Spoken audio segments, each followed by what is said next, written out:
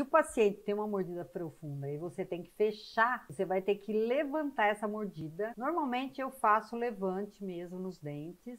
para conseguir fechar, porque às vezes eu vou fazer esse fechamento e depois eu vou ter que, se for um paciente adulto, normalmente vai fazer, vai para uma reabilitação, ou se é uma criança, você vai ter que usar outros aparelhos, outros recursos também. A gente usa muito o biflash para levantar a mordida, fazendo só a região anterior, de lateral a lateral, e fazendo como se fosse um top para que a pessoa levantasse a mordida também. Mas você vai ter que ver o que, que é que você precisa, mas normalmente o ideal é levantar a mordida, por exemplo, mesmo que seja através de uma resina no dente, mas você tem que levantar, porque você fechar uma mordida profunda